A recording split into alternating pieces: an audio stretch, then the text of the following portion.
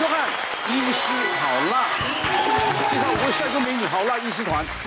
当女人好吃亏，今天好辣医师团要告诉你，有些恐怖疾病居然专挑女性下手哦。好辣军团被哪些女性健康克星缠上呢？值班小吴是李毅。Hello，大家辛苦。我们每个月啊月事来，然后痛的要死，还要出来工作，真的是超辛苦的耶。而且最重要的，尤其在我别的行业会不会是这样，我不知道。但是演艺圈就是这样，当你十七八岁少女正在努力奋斗，对，你没有个五年八年很难成名嘛。是可是当你成名的时候，因为快接近三十，就考虑你的终身大事，你到底是要成家，还是继续努力奋斗？所以当很多女生一旦走到很红之后，除非他不想成家，可能事业会冲更高。嗯可是回过头再看，已经为时已晚了。我觉得你好像在讲我，我好难过。不是，你是比较惨，就事业还没有成。慢慢成了，慢慢对，我。要讲的意思是说，女生真的很辛苦，但努力冲事业，其实演艺圈很容易回头看就七八年了，嗯，对不对？可是你讲到说，我稍微有就有几部戏红了，或几个广告要拍的，哎，怎么三十到底要不要结婚？那很多家里又念呐、你三十几了你不结婚，你这样生小孩怎么办？对，高好吧，再忍一忍，过去没有碰到好对象，就一冲就三十八了，再回头要不要结婚，就很就就我们在常常提讨讨论说如何怀孕啊，如何生小孩，就。高龄产妇了。所以女人当然辛苦啊！你看有月经来也辛苦，没月经更难更烦恼。对。是，今天来告诉你哪些哪些疾病女生要更应该注意。好，第一个，女性好发癌症，甲状腺癌女多于男。其实那个大家都知道，癌症是十大死因的第一位，好几年了嘛，哦，对不对？但是其实哦，如果你把十大癌症哦，通通都加在一起，男生跟女生，其实男生跟女生谁容易比较得癌症，你知道吗？其实是男生。哦男生得到癌症的几率是女生的总 total 加起来大概是一点三倍。嗯。啊，如果你把女生的乳癌去掉，你把男生的那个射物腺癌，因为这两个器官是大家个别有的嘛。嗯。你看那个最常得到癌症，比如说肺癌、大肠癌、肝癌，男生得到这些癌症的几率是女生的两倍。其实统计起来，哈对寡妇多于官夫嘛。哦，这个 真的没有没有，那个女生的那个平均寿命本来就比男生长了哈，跟女生我们觉得有关系。但是其实男生就不要太泄气哦，有一个癌症就比较还我们男生一个公道，就是甲状腺癌。哎呦，哦，甲状腺癌女生得到的几率是男生的三倍到四倍之多。哦，而且哦，甲状腺癌有个特性哦，大家都知道一般的癌症得到的年龄大概都是五十岁、六十岁嘛，甲状腺癌是年轻的人比较容易得。甲状腺癌虽然在十大癌症，女生的十大癌症排第五，可是它是跟那个前面四名有没有差非常非常的多了哦。那在男生的话，甚至连十大癌症都排不进去。好，但是你不要小看它哦，如果你用年轻女性来算，你用十到二十九岁的女性来算，她的癌最常见的女性的癌症就是甲状腺癌。哎，它是对十到二十九岁，大家常常说甲状腺癌会有什么症状？其实大家都知道甲状腺长在哪里，长在脖子这边嘛，对它在气管两边嘛，这边有什么器官？就是有气管，后面再有食道，旁边还有一个比较重要的神经，就是我们讲的那个反喉神经嘛。如果甲状腺癌够大，或者它长的位置刚好很巧妙，它就会引起症状。啊，会有什么症状？第一个就是压到气管，然后就是呼吸怪怪的嘛；压到食道就吞咽怪怪的；压到那个神经就是讲话会有点沙哑嘛。那其实我们在临床上看到最常见的甲状腺癌的那个症状是什么？你知道吗？就是没有症状。大部分都是健检发现，不然就是自己摸到一颗来，它根本就没有任何的症状。所以要固定去检查才知哎，道。其实待会给各位建议哦，如果是年轻的女性，你在勾健检的时候，其实最好勾一个甲状腺超音波。哦，它没有包含在这项目里。哎，你有你付钱就有啦，对。验验血是验验血抽不出来，验血抽不出来甲状腺癌症。对，其实之前有一个个案哦，他大概三十几岁嘛，他来我门诊就披着一个那个围巾这样走进来，他就讲话，我就说，哎，小姐什么问题嘛？他说他想看脖子，我听他的声音其实有点像男生，嗯，就就是烟熏嗓那个味道很重嘛，哦，他说想看脖子，我就说，哦，你脖子怎么了嘛？他就把他的围巾解开，就很明显哦，在右边的甲状腺就就凸一颗一颗起来，我就手摸一下，呃，就很硬嘛，我就说你这个多久了？他说其实不大清楚呢，哈，最近变得比较大，之前好像有一点感觉，但是最近就变得很大。那我下一句我就想说，哎，这个是不是甲状腺伤到反喉神经，所以他讲话声音沙哑？我就说，那你这个声音沙哑大概多久了？哦，他说其实不是很知道呢，但是他有印象说，好像他之前的声音不是这样，哦，就是后来是慢慢变，慢慢慢慢慢慢变，但是他不是很 care，因为他觉得这样子声音反而很有味道，他觉得还蛮不错的，对对对，他觉得还蛮不错的哦。只是后来是因为就是这颗真的越来越大，他本来也觉得没怎样，因为他也不会痛，也不会怎么样，是因为连他的同事看到都说你脖子怎么长一颗，因为已经很明显了，他才来看了。所以那时候我们超音波一照，那个穿刺一扎，直接就告诉我们是甲状腺癌症，非常的明显。后来去开刀嘛，开刀就把它拿掉啊。可是因为他那个反罗神经已经被那个被那个癌症吃到了，所以我们开刀的时候被迫要把那个神经也一起拿掉，因为我们开刀要开干净嘛，就整个拿掉。那其实大家也不要紧张，即即使是伤到这个神经哦，现在都有办法可以帮你声音恢复。哦，对，所以后来术后的时候，我们做一些努力，就帮他把他声音都恢复了。其实甲状腺癌就是这样哦，很严重的甲状腺癌，只要不要拖太久，大部分都可以处理了。嗯。另外还有一个哈是，他那个就是健检发现的。他说被他妈妈带着来哦，她也是二十几岁年轻女生哦，他就拿那个健检报告给我看说，因为他们公司付那个免费健检有付甲状腺超音波，他说公司的健检报告说他右边的甲状腺有个结节，嗯，好说请他到大医院再做进一步的检查。就到我们医院的时候，我就看那个那个图的样子，我就觉得那个样子看起来就怪怪的。我说那你可能要在我们医院。再做一次超音波，哦，就就再做一次，再扎一次，扎出来就说那个细胞是非典型细胞，嗯所以非典型细胞就是介于癌症细胞跟正常细胞之间，它就长得怪怪的，我就建议他开刀。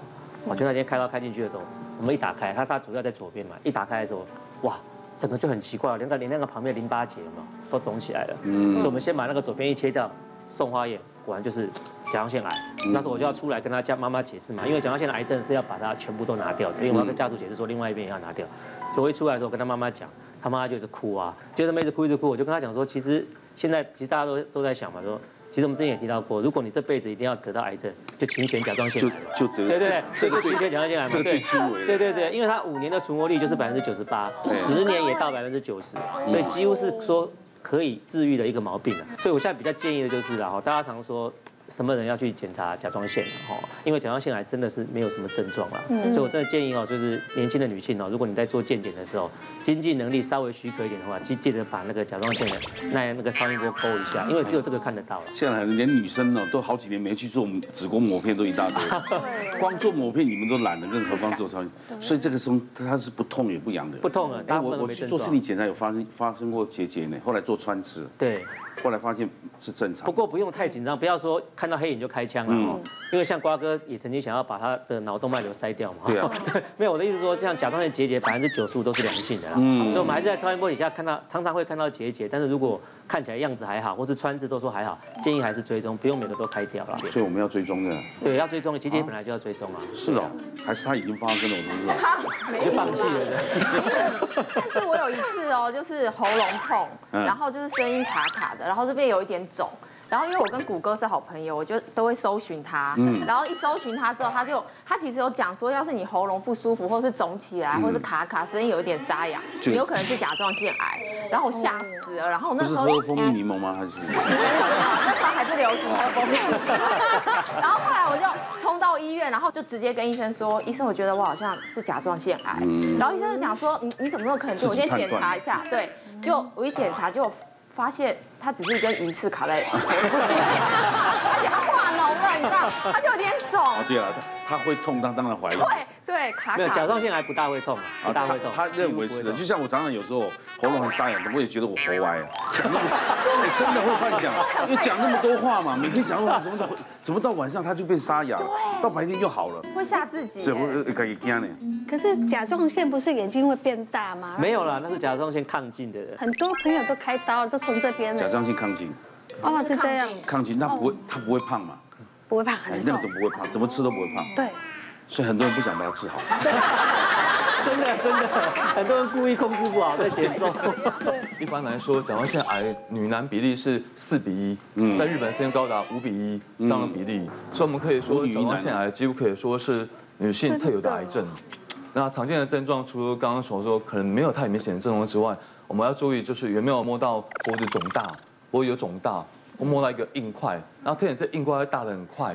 就会很担心，甚至声音沙哑，嗯，然后可能会脖子痛，这痛可能特点可能是会碰到耳朵去，哦，然后再来就是呼吸困难跟吞咽困难，那那算是有症状的啦，对，那有症状比较明显，嗯，那所以说八年前就有一个十六岁的小妹，在十六岁哦，小妹妹因为声音沙哑，求诊于耳鼻喉科，那医师觉得她耳鼻喉部分没有太大问题，就转我的门诊看。那我一看他的脖子，就觉得这个是甲状腺肿大。照片，哎呦，哇，好肿啊！就是甲状腺肿大，很明显的肿大。所以我们科当然就会做超音波跟细针抽吸，然后就发现恶性细胞，所以我就建议要手术嘛。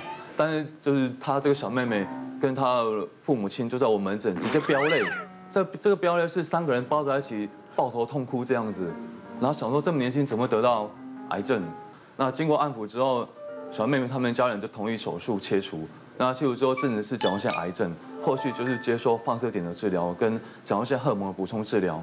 那现在经过八年了，已经结婚生子，看起来现在是健健康康的一个人。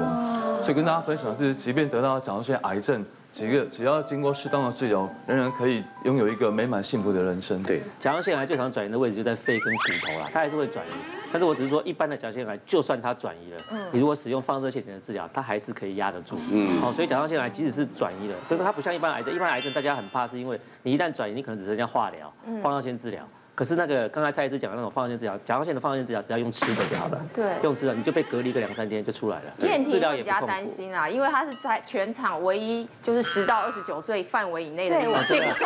我真的是量跳超高，想说，不是你而且我最近很沙哑，声声音，我自己很，我就想说我是不是水肿了还是怎么样，然后我就很紧张。看你的样子瘦瘦的，也吃不胖，应该哦，有我会吃胖，只不过最近真的感冒了，然后这里特别肿，是。对，然后我就很紧张，再所以瓜哥加上我是你是说他是这个睡眠甲状腺癌合并甲状腺亢进，很 紧张，非常紧张，没有，因为他是 YouTuber，所以他讲可能非常多的话，对。然后所以你可能问题就是跟瓜哥一样，就是话太多。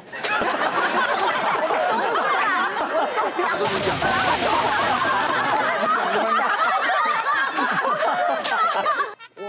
候就是一开始我的症状是手抖，然后跟心悸，然后我自己都觉得没有特别觉得说脖子的这边特别粗这样子，是因为我回到我们家族的时候，我们整个家族的人回头看我的那个回头率都有百分之九十九点九，尤其我大阿姨。我大阿姨看到我的时候就说：“哎，一起，我觉得你有甲状腺亢进，哎，你要不要去医院做一下检查？”然后那时候，因为我大阿姨自己本身就是甲状腺亢进，然后她就叫我去医院做检查，检查之后果然就确诊说我是甲状腺亢进，我就开始吃药。可是不知道为什么我开始吃药以后，我就开始那个荨麻疹变得很严重，只要吃药，然后我就会引发我荨麻疹很严重，然后都要去医院打针才压得下来这样。这个是会这样吗？吃是药物的副作用，可以可以换药啊，那会甲状腺亢进抗进那个是确定是药的副作用吗？是常见的最常见的副作用。就荨麻疹。哦，治疗甲状腺功能亢进的药物不止一种啊。通常你告诉我们医生的时候，我们是可以换。那如果说你连续两个药，其实很多人很奇怪，他刚开始吃会过敏，他可能撑一下，不是太严重，有没有？吃了两三个月之后，慢慢又好了。因为人体的免疫力是有一点点会有一点点的被训练的啦。嗯。好，所以你只要过敏不太厉害久一点就可以。那至于甲状腺功能亢进到底要不要开刀哦？其实我们的原则是这样啦。因为甲状腺功能亢进常常是一阵一阵的，嗯，好，就是你这一阵子发作，然后你可能控药物控制的好，好，比如说一年两年之后把药停掉，你这辈子可能不一定再发作，除非你后来又受到什么刺激，比如说或事业的压力，或者突然离婚，或者干嘛的，有没有？就是心情太不好，压力太大，可能又又会俩起来，或者为了选举啊，对啊，但是大 对对对对，但是大部分人可能控制好，他可能这一辈子都没事了。所以我们一般来讲就是什么时候叫你开刀，就是你复发太频繁，嗯，好，或是你实在是不愿意吃药，因为那个吃药很麻烦，你知道吗？你只要一餐没按时吃，那整个就大乱掉。你有换过药吗？你有换过药吗？有后来有换药，但是有变胖，但是我后来就不有点不敢吃，然后后来想说反正有消有消指数正常就不要吃了。其实你不是真的不是变胖，你只是回找回你原来的体重而已，真的。可是本来就应该那个体重。呃 我有个病人，他今年三十二岁哈，他就是很典型，他大概是在二十七八岁的时候发现有甲状腺的癌症。哦他其实一开始只是声音有一点沙哑，嗯，好，那声音有点沙哑的时候，他就想说，他也没有特别注意，是有一次他感冒，感冒的时候他就是去看加医科。好，那加医科的医师他就非常的有警觉性，他说：“哎，你这个不是只有感冒，因为感冒喉咙会肿嘛，对不对？那喉咙肿的那个位置跟甲状腺肿的位置不一样，他就说你这个甲状腺有问题，然后他就请他再去做详细的检查，就一检查就发现真的是甲状腺的癌症，好，然后所以后来他就直接就是切除，然后这样子就也治疗了一段时间，然后他这样子断断续续看之后，因为我跟他后来比较熟，然后就会聊一些他家里的事情，后来发现说他其实是因为他呃他妈妈是一个单亲妈妈，嗯，好，所以妈妈当初带着两个女儿，就是工作非常的辛苦，所以他很早就。就开始打工赚钱，然后帮忙养家。他妈妈也常常就说：“哦，我这女儿很乖巧，然后很懂事，然后呃都会帮忙负责家计。”所以他心里其实还扛着蛮大的一些压力。那我们中医在临床上面看到，不管是甲状腺的一些癌症，或是甲状腺甲亢。哦，或是一些结节这些的发生，它都跟一些情绪压力，中医讲说跟肝郁，就是一些压力有关。嗯哦，所以我们会建议说，尤其是女孩子，我觉得女孩子可能想太多啦，就是思虑比较多，很多事情都是往心里放，无形中这个压力就会让你身体产生出疾病。那我们话中医会推荐一个玫瑰树干茶，哦，就是我们用玫瑰花，哦，五朵的玫瑰花，好，然后用青皮。青皮的话，就是它是跟陈皮是同一样的植物，但是它是在还没有成熟的果实去晒干哦，所以它疏肝，它在缓解我们的情绪上面的话，会更入，因为色青是入肝，所以它在解肝的部分是比较强的。然后再加上一点百合跟那个呃大枣，哦，所以它的话就是一个喝起来味道是还蛮舒服，然后会闻这个味道觉得有点好像要进去油压了，你知道吗？女孩子会喜欢的味道，哦，它就是可以让你舒缓像不像去按摩一样？好舒服哦。嗯，有玫瑰花香味道。对，对，对女生来讲，其实你的情绪要有一个出口，才不会让你的压力反噬你自己的身体健康。对，女人会容易生病，是因为要照顾太多方面。嗯，真的要然后还要，把自己顾好，对自己又漂亮，对，真的真的蛮辛苦的。好，来接下来看，女性隐藏杀手，心脏疾病死亡女高于男。啊，心脏病。呃，我们讲说今天会讲到说心脏病死亡率女高于男，为什么女生比较不容易得到心脏病？因为它有一个叫女性荷尔蒙哦哦，女性荷尔蒙保护着她，所以年轻女孩子得到心脏疾病，尤其那种冠状疾病几率是蛮低的。嗯，可是到五十岁之后，她们突然急起直追，哎呦，因为她们停经了。然后那个所有的那个心脏病就整个往上爬，那往上爬。那二零零六年哈，那个美国的一个妇女健康协会，他就做了一个调查，发现哎呀糟糕，这个被低估。他们发现五十岁女生哈得到心脏病的死亡率哈远高于男生。哦他们他们就要归纳一些原因，第一个他们发现哦男生的得到那个狭心症啊什么冠状疾病，哎那个症状来的又凶又猛，他会。比较典型，就是会胸痛啊，会不舒服，所以他们会去找医师，会诊断出来。哎，女生得到这种心脏病比较轻微，他们会用疲劳，不典型，可能是疲劳，可能会有点头晕、恶心、心悸，哎，不大容易诊断，就是误判误判情势。对对对对，误判情势。第二个是他们得到那个，如果女五十岁女生得到心脏病加上糖尿病，嗯，跟男生得到心脏病跟糖尿病，哇，那个女生那个死亡率可以增高很多很多哈。我就举我一个临床碰到的一个案例哈，有一个。胖胖的妈妈大概快要五十岁哈，她本身是一个那个烘焙的老师，教人家做点心蛋糕的。他一直长期在我门诊追踪那些三高哈，就血糖、血压、呃血脂肪都稍高一点点。那他是一个非常乐天派的一个人哈，他经他经常哈血压控制的很不好。然后，可是我非常喜欢他来看我门诊哦。呃，他每次来都会带一些他做的一些小点心啊，那他的点心跟他的人一样，很甜，但是有一点有一点油油的。然后专业专业。然后呃，我每次我看他，他每他会记录他的血压给我看，他血压都大概控制在一百六，我说非常不好，那我就会加药给他。可是我觉得加有加没加差不多，因为他不是很规律在服药。他说生死有命，富贵在天。那就说我还想多吃一些你的蛋糕哦，你还是要努力控制你的那个呃血压血脂肪。好，某一天三个月他又回来。可是他这次回来之后，他的那个笑容不见了。他说：“洪医师，哎，我最近真的是很倒霉。”他说他可能长期做那个烘焙哈，他说他的左边的那个左肩哈，最近很很酸痛嘛，酸麻不舒服，尤其是每天他工作完之后，那他就去给人家推拿、按摩啊等等，可是那个好像都没有改善。第二个不舒服，他是说哈，他最近很奇怪，因为他是老师在讲课嘛哈，讲快一点哈，他讲完讲快一点就觉得呃上气不接下气。他觉得他以就感觉他明明是在讲课，怎么感觉在爬楼梯的那种感觉？所以他觉得不大是，我这样听也觉得不大对劲啊哈。那我就帮他做了一个心电图，陪另外排了一个叫核子医学心脏摄影，因为我怀疑他心脏有缺氧的状况。哎，报告出来果然是心脏缺氧。这个核子医学心脏摄影通常是我们要做心导管前的一个检查啦。如果有阳性发生的，一定要转到心脏科做心导管。那我当然。再三叮咛他一定要去心脏科，然后要去做心导管。呃，他就跟我说，洪医师，我在两个月之后吼，那个要办烘焙比赛了，所以他可能要要等之后再去。可是我相信他也不会去。那结果就在我跟他提醒的两个礼拜，有一次他在上课的时候就出现那个胸闷啊、不舒服啊，他完全没办法再上。后来是被他的学生送到急诊室。那到急诊室之后做完那个导管，发现是三条血管堵塞。后来是会诊那个心外做了绕总不过也是三条而已啊，三条三条的堵塞哈。然后后来他在住了。呃，住了一个多月才出院。那心脏科医师跟他讲，如果再晚来半小时，有可能就会就有死亡哈。对啊。那经过经历过这一段之后，他后来再来我门诊，他还是带蛋糕来，他还是有在做蛋糕哈。可是我就发现他的蛋糕哈比较不甜了，也没有那么油了，变得比较健康。我觉得他好像是在讲我。你没啊？你看了就健康呀。没有，我我我以前哈也是五十岁过后，觉得脸非常红。我也说我皮肤白嘛，人漂亮，都都红一点。哎呦，他也会退啊，我有皮肤白。然后有一天突然就很不舒服，头很晕。我去小诊所，那个医生一量，走走走，说怎么了？说你要去大医院，你血压一百八。我说哪有可能？我说那至少给我吃一点嘛，我再走，不然我走到半路死掉怎么办？他说不行，你就赶快去急诊。嗯。然后检查出来是高血压。嗯。然后高血压，我就想到我外婆高也是死脑中风，我我妈妈五十八岁就走了，是大条，她在算名牌哦，她这样倒了就走了。啊，嗯，然后就就去开始看医生，可是血压降下来了，我看吃了四五年，觉得它会写一些后遗症，那我就会排斥，我要三七五吃，就是一个三七五是。安利安利模糊了。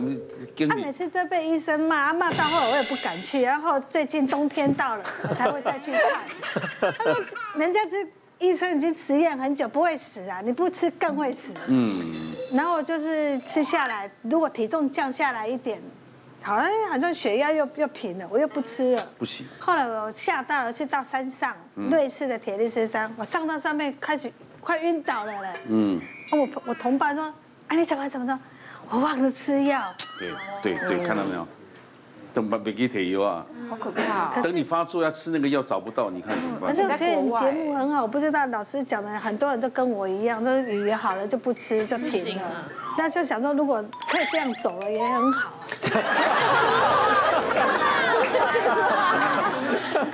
起码你就照正正常高血压，很多人吃十几年、二十几年了。对呀，我妈妈一直都吃啊。你别以为有的人认为他是健康的，就发生这种例案。嗯。他有他有在运动啊，后来血压降下来，后来他每天早上都去打高尔夫啊，最后就死在高尔夫球场。为什么他就没吃药？对啊，你这么久了，五年六年，你血管就硬掉。可对，你你会更难一点那样，你血管会变硬，硬会爆开啊。可是我有问题，我吃我要量体血压嘛，可是为什么我的心脏还是跳很快？呃，台湾哈那个高血压哈，那医师开药到底病人有没有去吃哈？他们去做男女有别哦。嗯。他们发现哈，女生哈控制到标准值以内的哈，大概有到六七 percent，女生会比较听话，会比较规则服药。男生大概只有三十几 percent、四十几 percent 有达到那个控制的那个标准。那为什么会心跳本来高血压、血压高、血压过低的心脏都会代偿，就会跳得会比较快一些？但当然，如果说你心跳又快，可以请医师开个可以降血压又可以抑制你心跳的那个药物啊。这个其实你心脏。我们很怕，其实高血压常常合并着那个冠状动脉疾病。你心脏已经在缺氧了，你跳很快的时候需要更多的养分，哦，所以它会更出现。那像你要爬到高山去，为什么在那个铁力士山你会觉得不舒服？因为空气稀薄，然后你又在可能在活动，心跳跳的特别快，啊，氧气又特别不够，哎，症状就跑出来了。我是啊，像乖乖，我我以为会死在铁力士山那里。起码你平常有运动。很少。我跟你讲，我以前心跳一百一起跳的，每天都不不吃完更不舒服。嗯。后来我就去运动之后，哎，我现在每天早上起来量六十几下，都六十几下，心的爬楼梯再也不会怎么喘了什么。你要去先训练这部分。哦，瓜哥，我上你就明天开始要运动。真的，哎，你走楼马后啊，你走楼，你心脏慢慢这个血压也会降下来。嗯。叫那个黄灯辉拿了一千块前面跑那个。要两千呢。心脏疾病其实不只是指心脏，我们一般都是指以为是只有心脏，事实上不止啊，它还包括全身的血管。所以如果你心脏的血管出问题，你会心肌梗塞。所以女人不容易得心肌梗塞，可是一旦得，她的死亡率会比男人高。嗯，啊，比如说脑部的血管如果有问题，那就会中风。所以女人一旦她中风几率比男人低，可是她一旦中风，她的中风的这个。后遗症会比男人要要高。哦，这其实影响全身，还有包括譬如说你的脚的血管也会塞住嘛。嗯。你脚血管如果塞住，这男人也是脚的血管塞住就会比比女人高。嗯。可是女人的血管一旦塞住，她的截肢啊，就是把脚截肢，截肢的几率反而是女人是比男人要高。所以这个这表示什么？呢？表示说。这个女人，如果你已经有荷尔蒙的保护，嗯，你本来就比较不容易得这些心血管疾病，可是你居然还得了，那就表示说你本来的血管真的就是比较差。那我们一些常见的一些一些症状哦，比如说心，如果你突然胸闷胸痛，你就会，但因为这个大家都已经算是蛮广泛的知识，你胸闷胸痛，你就会很紧张，就会去看医生。但事实上，它有一些非典型的症状，你常常会去轻忽它，那些症状有时候在女生身上真的是比较多见，譬如说她。心脏的这个胸痛、闷痛、心肌梗塞，它有个叫做反射痛。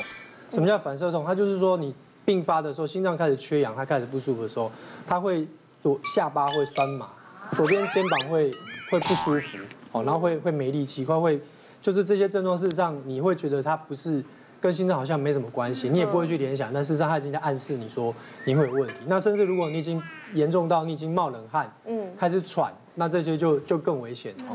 那我曾经有有一个案例是讲，她是一个六十几岁的一个阿姨，嗯，那她也是家她家庭主妇哦，可是他很忙碌，因为他要就是张罗全家大大小小的这些那个，他每天都要煮饭，嗯，那他煮饭有一天他就开始那个左手没办法拿锅铲，然后就就拿不太起来，那不舒服，但是他就一直觉得那是五十肩，嗯，然后他就不理他，嗯，结果有一天晚上就突然冒冷汗、胸闷、喘不过气来，被送到急诊室去。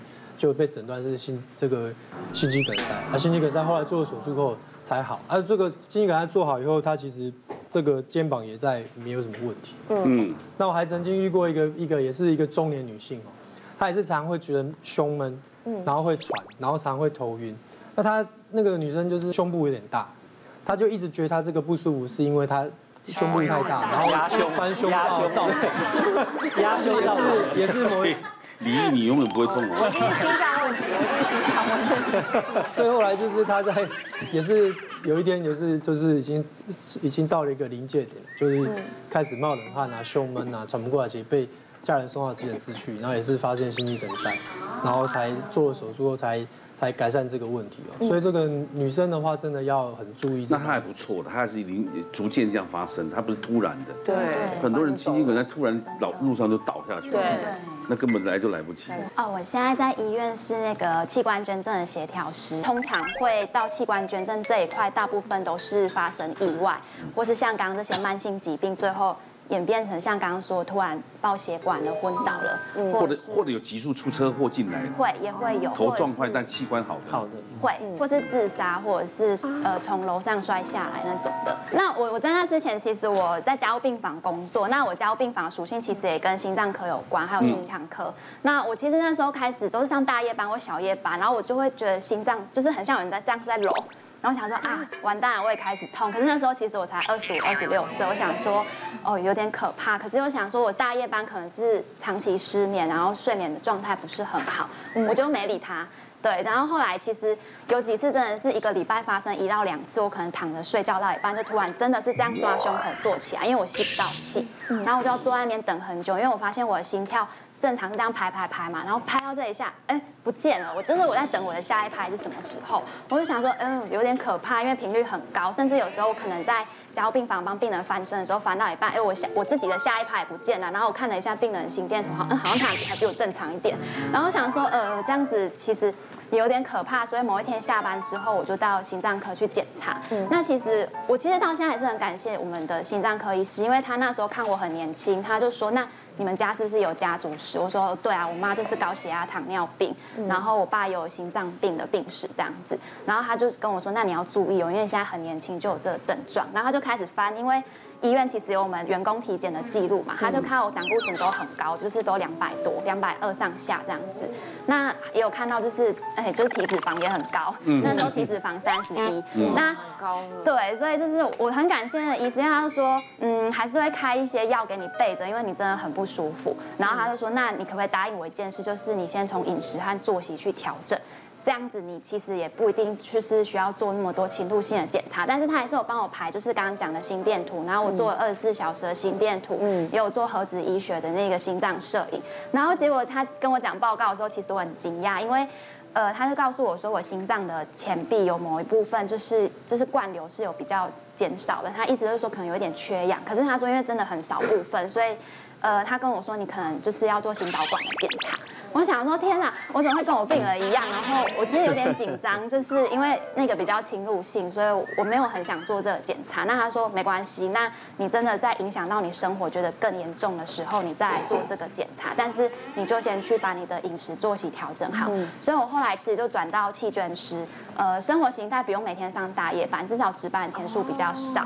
那因为其实我之前体质也很高嘛，三十一，所以我除了就是自己开始运动减肥以外，那我也去呃透过就是呃去考试，然后也成为体态管理师，就是在我下班后时间也去帮助别人。因为我后来发现，其实吃药这件事真的没有办法解决很多问题，你还是要回过头去看你过去对自己做了什么事情，这样子。好励志哦，对，比较正确。对，这个议题对我来说真的是很重要，因为我是家族就是遗传。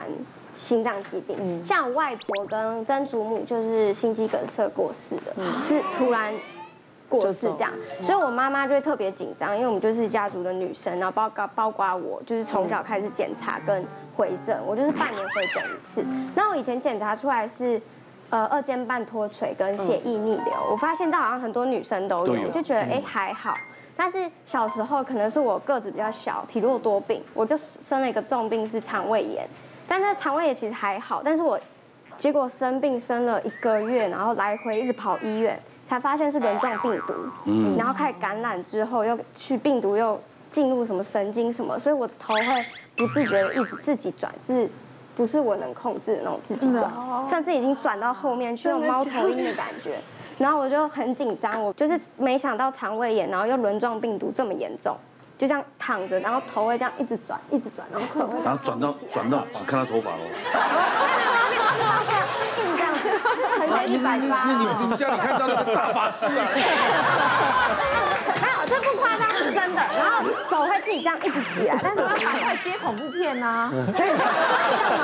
哇，这但是很紧张，然后医生也很紧张，想说奇怪，为什么肠胃炎轮状病毒这么严重？哦。侵入了，然后但是之后呃好加在就好了，但是也因为这个就是大病之后，我的心脏更严重，就是会很像有时候只要我一紧张，然后压力很大，就会像北北说的那种感觉，很像牛抹布的那种感觉，整个这里是顶起来，那我就马上跟我妈讲，我妈就马上又再去医院检查，所以我觉得不定时的可能两个月就要带一次二十四小时的仪器，哦，对。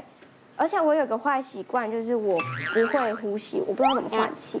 比如说爬楼梯啊、跑步，我都是憋气的状态，因为我不敢去呼吸，我怕我喘不了气。你你你你一定很喘，对不对？对，我很喘，其实无时无刻都会喘。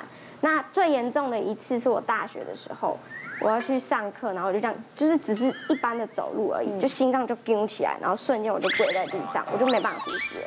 我又再一次送医，然后打，好像是一个镇定的针，我才缓和下来。是。对，所以一直到现在，就是只要是一紧张或压力很大，我就是心脏就惊起来。你没有去彻底检查你的心脏吗？有啊，就是二呃每两个月就是要检查二十四根超音。现在还没改善到。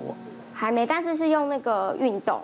因为我的体质也很高，医生，我的医生说你不要太常去吃药，怕会我会依赖，因为我还年轻，怕依赖药物，所以他就叫我去跑步机或游泳，嗯，去降低我就是练心脏的强度，还有深蹲，嗯，很多人说什么大腿的力量等于心脏的力量，他是第二颗，对，所以我就会在家里无时无刻做个深蹲，嗯，像燕婷的毛病，他说之前为什么头会转那个哈，其实大部分大概就是轮状病毒侵犯在脑膜炎，或者后来他说心脏也变得比较没力嘛，因为病毒常常最后面。没有控制好，最严重的最严重的并发症就是脑膜炎跟心肌炎。嗯，然后你那个二尖瓣脱垂哦，其实很长就并发会有心律不整了。我们都说女性荷尔蒙会保护血管，你知道怎么保护吗？第一个，女性荷尔蒙会增加你的好的胆固醇；第二个，女性荷尔蒙会降低你坏的胆固醇；第三个，女性荷尔蒙会让你的动脉放松。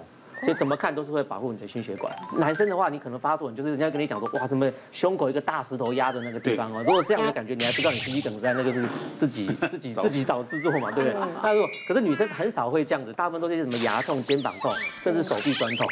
可是那个时候就已经是心肌梗塞的前兆，他都不去理他，就。隔几个钟或者隔几天，一个一个事情发生，他可能就突然就就倒地了。那为什么会女生会这样子？其实跟女生跟我们那个男生跟女生那个脂肪堆积有关系啊。你看男生肥胖都在哪里？都中广型比较多，女生大概都四肢全身的。所以你看哦，你那个冠状动脉哦，如果是女生脂肪在堆积的时候，它是整条慢慢慢慢慢慢在在在在在在阻塞哦，所以它。可是男生不是，男生因为中广型，他脂肪是堆积在某个地方，他一旦阻塞就很明显，就整个很 sharp，所以那个症状就会很剧烈。可是你看到女生是慢慢阻塞，所以有一种类似他慢慢去代偿，你懂我意思吗？等到哪一天全部阻塞的时候，症状就跑出来。可是那时候症状前面的前期的症状就会很不明显的哦。所以那个那那很不明显的时候，大家都知道嘛，心脏的跟脑中风一样嘛，那个是要抢时间的。你一旦拖延到你的那个那个预后当然很差。我们就有个之前就有一个那个那个五十七岁的那个那个。家庭主妇哦，她先生事业很成功，六十岁就退休了，所以他们一直在家庭过那个就很两个很恩爱嘛，就家老公也退休了，然后那个老婆本来本来她五十岁是有工作的，然后她因为想说她老公也要退休，她就跟着就退休了，就两个人一起在家里过活，然后小孩子也都长大了嘛。她说就是老婆很会煮饭，所以每天在那边煮饭给她老公吃。有一天她老公吃完中饭哦，就在客厅里面翘着二郎腿在那边喝茶。突然听到嘣一声，他太太在厨房就就倒地，哦倒地，他赶快就冲过去，但是他有受过基本的那个急救训练，所以他很很厉害，他马上就打一一九，他开始他就叫他叫他太太嘛，他叫他打完一九，他可以叫他太太，就开始他自己开始这么做 CPR，就很紧张嘛做 CPR，然后后来那个救护员那个人就来了，就把他太太移到救护车上，因为大家救护车上有的车护上比较高级的会有一点 AED 嘛，马上一测。哇，心率不整，整个是乱跳，马上就电击了。不过不错哦，因为那个电击在到第三次的时候，心率就回来了。嗯，他太太就他心跳就回来，但是人还是没有醒，啊，就马上就送到我们的急诊室来了。啊，送我们急诊室来的时候，因为那时候心跳血压其实还好，心跳也正常了。那时候我们一抽血。就是一个急性心肌梗塞，就是一个急性心肌梗塞，所以我们后来就马上安排心导管去把它打通了。但是后来我们他醒过来之后，我们再去问他，他其实前几天就常常在说牙齿痛、肩膀酸痛，他说一直觉得自己是太累了，他不觉得这个怎么样，他就自己吃普拿疼。他说吃完普拿疼感觉好像有好一点，就那天不知道为什么可能特别累吧，就是。服侍先生吃完饭之后，在那边洗洗碗盘，洗洗就突然间就昏倒，嘣就倒下去了。所以普拉痛只是暂时压住，只是暂时。所以来说，女生真的很可怕。所以有一些症状的时候，年纪又大的话，还是到医院去检查一下你的心血管有没有问题的。是真的。男女有别啊，看我们这期节目就知道。来第三。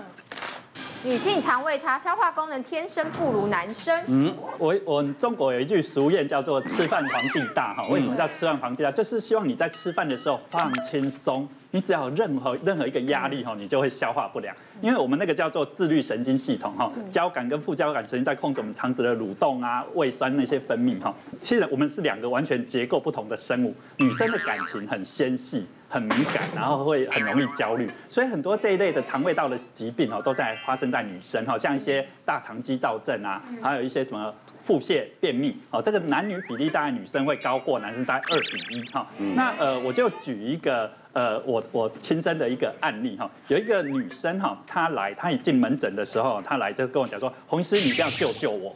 我只要听到病人一进来就要救救我，我在想有两件事，一个是这个疾病很严重，很严重，他应该在急诊室哈；一个是他很焦虑啊，那那那个应该是一个很焦虑。他说，呃，他以前都看肠胃科，我看他以前的门诊，哇，看了好多的那个肠胃科。他第一次来看，我是肾脏科医生，他来看我哈。那他跟我说，呃，他从年轻的时候就经常那个便秘啊、腹泻啊，而且最不舒服是他整个胃会揪成一团，像在拧毛巾一样，非常不舒服，在两个时间点。第一个时间点在月经前后，第二个是在他只要要上台要演讲，他紧张的时候，他会整个这样子哈。那呃，他最近又在烦恼一件事，是人家说这样从小消化不良，应该体型都会小小的，会跟燕婷一样。可是他他很倒霉，他又长得胖胖的。他说他吃的不是很好，又感觉又很壮哈。那他他年底要结婚，他在烦恼两件事，一个是婚纱穿不下，好，然后第二个是呃，他会觉得说他。结婚他会紧张，万一他穿着白纱的时候一直上厕所哈，他会很烦恼。而他的朋友哈，就是介绍他用那个呕吐哈，就是呃去自己完吃完东西就呕吐，这个非常痛苦。他说他做了三个月，体重没有下来，可是他整个胃会更不舒服，然后他很焦虑，说他接着要结婚到底怎么办？呃，我除了因为我看他以前的那个病，他胃镜都做过了，并没有什么胃溃疡啊什么那些都没有。那我说，如果胃药治得好，他应该之前的医师都治好了。那我除了开胃药之后，我就加了一个抗焦虑的药。那我告诉他说，你在结婚之前，你每天去运动。我们刚刚好像所有的答案都是运动哦，就去运动。然后他吃了，他除了吃胃药，他吃了一些抗焦虑的药，又开始去运动。哎，他后来他再回诊，他说他整个婚礼是很 smooth 的，那整个症状也改善。我后来认为他其实他的问题哈是一些自律神经病变呐，那造成他还有一些焦虑，造成他一些肠胃的不适。在英国很多这类疾病后来并不是看肠胃科，而是转诊到精神科去控制他的焦虑紧张，他所有症状就改善了。嗯，女生就是很忙，就要忙老公、小孩、婆家、公家，然后还要把自己顾好。是。那其实我觉得像我们做 model 从小开始就是有一个一。问题就是要把自己的体态顾好。那以前比较没有那么多运动，然后就会常常会有一些你吃不好或是不吃之后，女生常常会有便秘的问题。然后一便秘，其实只要两三天，我觉得那个肤色年纪越来越长，马上就暗沉、蜡黄，然后整个人看起来很累。然后呢越来年纪越来越大之后，就是那新陈代谢也变得很慢。那当然，我最近有开始要。开始好好的运动，那那以前我们都会知道说，你如果想要呃排便比较顺利，然后我们曾经有比较自己有比较激进的方法，就是我可能会吃泻药，或者是有那种有泻药成分的一些保所谓的保健食品，可能都会让我觉得是会依赖。然后呢，依赖之后呢，其实好像在肠胃这边它也会会变得比较不好，因为它其实都是用药药物的成分去去对抗它的。所以后来我就呃从日本。朋友跟我介绍，就是要喝这种很天然的黑豆普洱茶。哦，普洱茶。对，因为它里面就是四种，它的成分你完全看得清楚，它就是很简单的，就是黑豆普洱、杜仲跟乌龙，它没有任何其他的东西，四种，就四种，然后天然的成分，而且它是日本原装进口的，然后在日本销售非常好，所以品质非常有保证。然后那时候。呃，一拿到的时候，第一它很方便，就是这样一袋一袋的茶包，然后也比较环保型啦，就是不会像那样一个一个单包装的。所以像我明天早上就会这样子丢到我的这个保温瓶里面，然后就这样带走。然后里面的香气就是比较可以呃闻得到它的黑豆跟普洱的味道。所以你是先烫的泡，对，然后可是倒下去要等它冷才。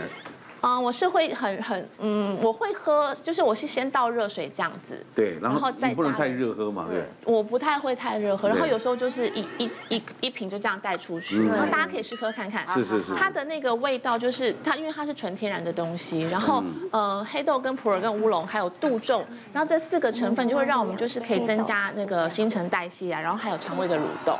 然后我就别人是它它变成是我的天然的一种随身普洱茶。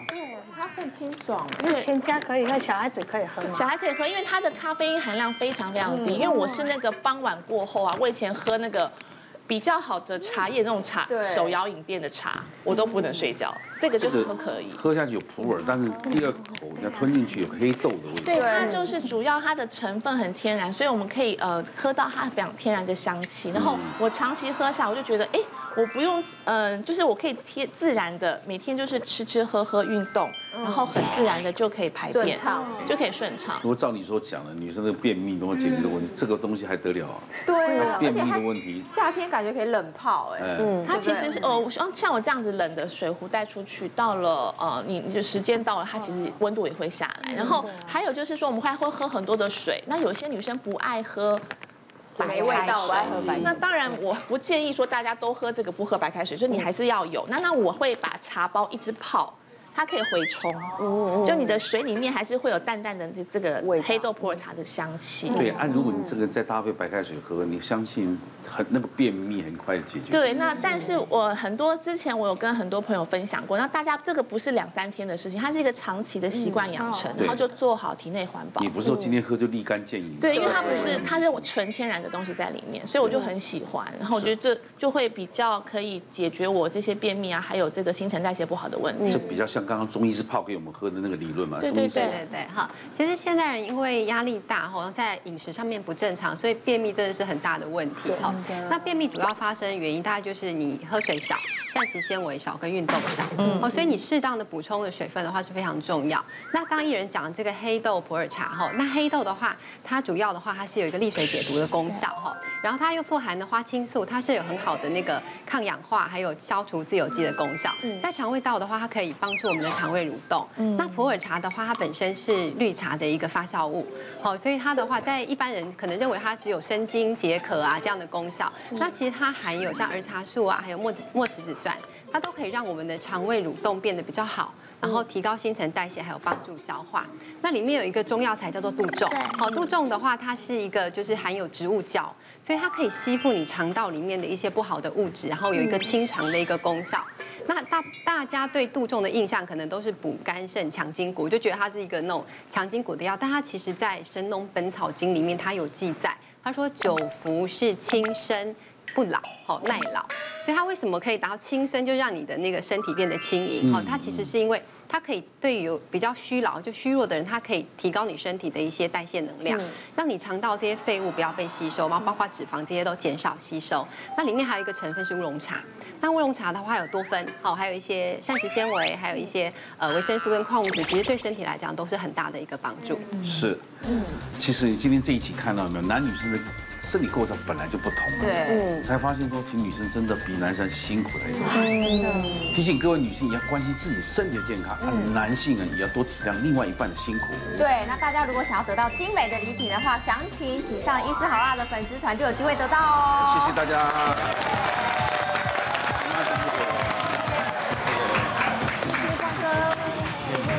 谢谢谢谢大家对好辣医师们的支持，记得订阅医师好辣 YouTube 频道，还有按下铃铛收看最优质的内容哦。